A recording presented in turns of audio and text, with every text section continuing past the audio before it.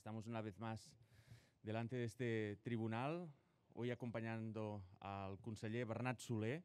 Bernat Soler representa, representa como tantos otros alcaldes, uh, la, la voluntad del 1 de octubre, los que hicieron posible que se pusieran las urnas, que todos los ciudadanos de este país pudieran votar y estaremos siempre, siempre, siempre a su lado. Volveremos las veces que, que haga falta hasta que se haga justicia y hasta que la amnistía haga posible que esta causa general acabe de una vez.